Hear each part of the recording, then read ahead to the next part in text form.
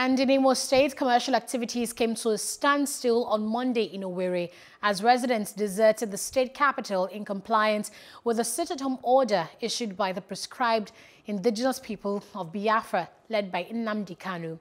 IPOB's Director of Media and Publicity, Emmanuel Powerful, had said human and vehicular movement will be restricted across the southeast on Monday, May 21st to mark the 54th anniversary of Biafra.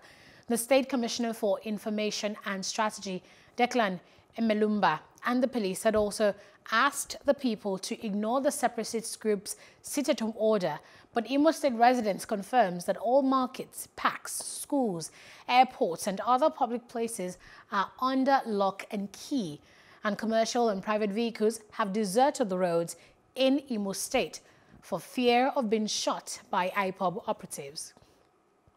Hello, hope you enjoyed the news. Please do subscribe to our YouTube channel and don't forget to hit the notification button so you get notified about fresh news updates.